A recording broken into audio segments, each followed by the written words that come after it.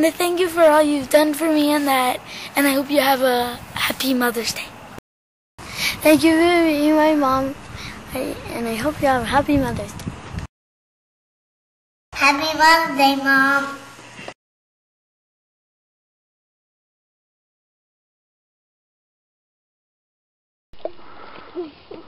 Hey, it's nice to meet Daddy.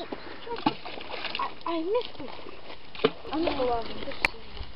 I'm gonna go out. There you go. Is it dead? John? Joshua, wrong way. okay, hold it up. Okay.